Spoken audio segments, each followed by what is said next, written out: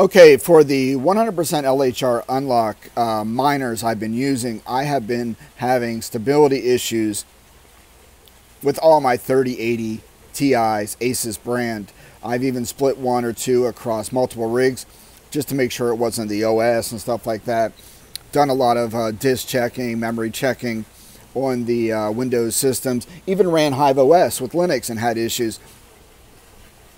So that led me to believe there's got to be something with the with the cards and or the um, memory overclocks. And I figured I was getting 120 mega hash. I just wanted to get that sweet 120 mega hash. So I maxed out as much as I could without crashing the cards.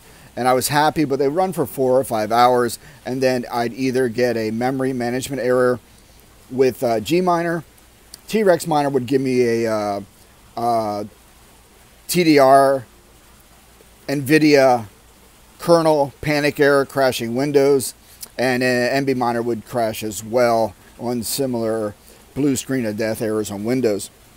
So what I did, I made a stable and a high version of my uh, Gminer. I like Gminer; it's been giving me the best results. And I I went through and just started to tweak down the M clock. I use a lock core clock, and that seems to uh, not really be the issue. So I put that at 1200, and I slowly uh, tweaked it down. And uh, this uh, version right here, I got 116.51 mega hash on Ethash, mining 2Miners, getting paid out of Bitcoin, and it's been running for over a day. So I think it was the mem clock setting. I'm not going to be able to squeeze out 120 mega hash on these cards and be stable. It's just the luck of the draw. You get what you get. I'm a little turked about it, but I'm still getting more than 93 mega hash, which is what I was getting over a week ago. So I'm happy with this.